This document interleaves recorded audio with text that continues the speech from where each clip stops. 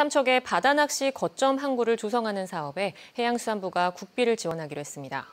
배경은 무엇이고 어떤 사업이 펼쳐질지 유인호 기자가 보도합니다. 삼척 임원항은 삼척뿐만 아니라 강원도 바다낚시의 주 무대라고 할 수 있습니다. 대구와 우럭 같은 고급 어종을 잡을 수 있어 상당히 인기를 끄는 곳입니다.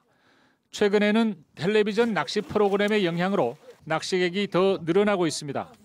문제는 일반 어민들과의 갈등입니다.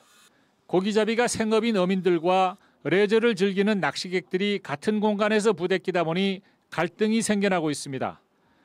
낚시객들 입장에서는 편의시설 확충이 필요합니다.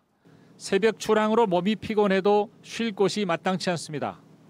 삼척시는 이런 점을 개선하기 위해 임원항에서 가까운 노곡항을 낚싯배 거점 항구로 조성하기로 했습니다.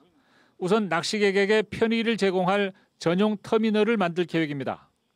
삼척시를 방문하는 낚시 관광객분들이 편안하게 이용하실 수 있는 뭐 화장실, 샤워장, 그리고 이제 잡아온 고기를 바로 손질할 수 있는 공동 주방, 그리고 잠시 이제 눈을 붙일 수 있는 휴게 공간, 뭐 카페 등을 만들 예정입니다. 인근의 폐교는 어촌 테마 학교로 조성합니다.